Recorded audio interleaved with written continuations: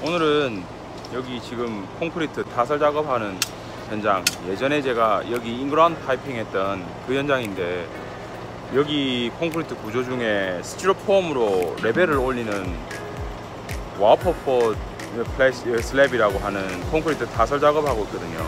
그래서 오늘 뭐 되게 바빠요. 그리고 저희 같은 경우는 안에다 서비스 파이프를 집어넣어야 되기 때문에 일단 오늘 콘크리트 붓기 전에 안에다가 어, copper 파이프 실을 해서 copper 파이프, 그러니까 water 파이프 실해서 콘크리트 붓기 전에 finish 되기 전에 안으로 넣으러 왔습니다. 그래서 현장 사진 콘크리트 펌프카로 해서 이렇게 붓고 있습니다. 보시면 저 뒤쪽 slab은 한번 끝났고요 벌써. 보여드리면 펌프카가 이렇게 있고요. 에콰리 콘크리트 커팅이라고 되어 있고 뒤에 레미콘 차가 와서 하고 있는데 이것도 시간이 꽤 오래 걸려요. 적은 일이 아니기 때문에 일단 슬랩을 일반 집안보다 많이 올려서 여기 보이는 것보다 그래서 저 뒤쪽 가서 제가 한번 보여드릴게요.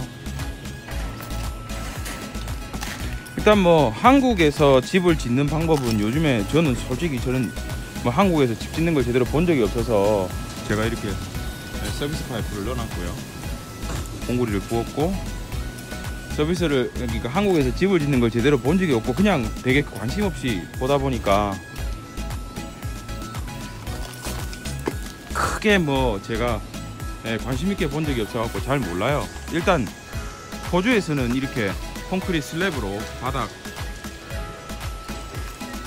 바닥 finish를 한 다음에 그 다음에 여기 이게 지금 이 집은 brick veneer house라 그래서 콘크리트 slab에다 골조물물 그러니까 timber 골조물은 이렇게 timber 프레임으로 인, internal은 timber로 콘크 어, 저 프레임을 짜고 그러니까 그 뼈대를 timber로 하고 그 다음에 바깥에 외부에 보이는 거는 아마 face brick으로 이렇게 쌓아 올릴 거예요. 그래서 겉으로 보기에는 브릭집이긴 한데 결국에 안에 있는 프레임은 그러니까 그 안에 있는 프레임 자체는 팀바인 거죠. 그러니까 엄연히 따지면 팀바집이긴 한데 겉에만 그러니까 브릭으로 하는 거라서 하여튼 그렇습니다. 그래서 지금 여기 보면 비맵지라고 하는 게 여기에 브릭이 쌓아져 올라가는 거고요. 그 다음에 여기는 팀바가 나와져서 90mm 2x4 timber가 이렇게 돼서 두 개가 이렇게 외벽으로 270 정도 해가지고 이게 90mm cavity 50mm 90mm 140에 50mm 230에서 270뭐 사람마다 다 다르더라고요.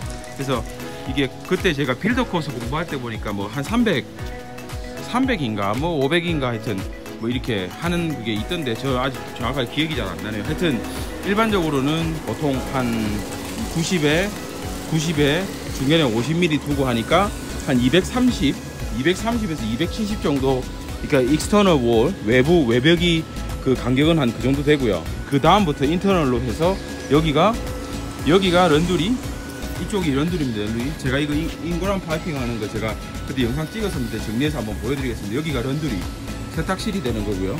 여기가 세탁실에 있는 laundry tub, 세탁 그 씻고 있는 싱크, 그 다음에 세탁기가 아마 여기 들어갈 겁니다.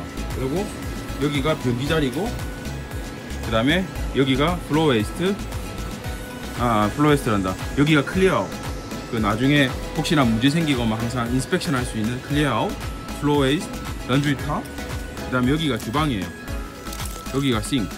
그리고 이 집도 duplex인데 요 두 개가 보이시죠? 이게 stack 파이프거든요.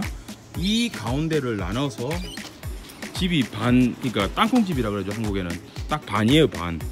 이쪽 집 따로, 이쪽 집 따로 반반 집이 한 집인데 두 집인 거거든요. 그래서 여기도 지금 stack 파이프가 두 개가 있고 여기도 stack 파이프가 두 개가 있습니다. 그래서 여기도 똑같이 mirror 완전 반대로 똑같이 들어가는 형태로 해서 저기 변기, toilet 있고 clear out 있고 floor waste, laundry tub, 그 다음에 싱크 여기 싱크 drain 있고. 그리고 서비스는 아까 제가 넣었듯이 아까 사진도 이렇게 할 텐데 저쪽 보면 아까 이 코너에다가 제가 이제 파이프 전기 conduit 파이프랑 water 파이프랑 저렇게 들어가 있습니다. 그래서 공구리를 붓고 나중에 저쪽으로 물이 들어와서 이 집 전체에 다 supply 될 수 있게끔 그리고 이 집은 natural gas 그러니까 한국으로 따지면 도시 가스가 없어요 이 집은 도시 가스 내추럴 가스가 없어서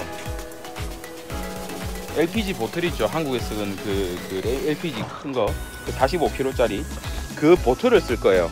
보틀 40 45kg짜리 bottle 두, 두 개를 이쪽 코너 쪽에다 두 개를 설치를 하고 그 하도 타는 순간 온수기 한국에서 많이 쓰는 순간 온수기 쓸 것 같습니다.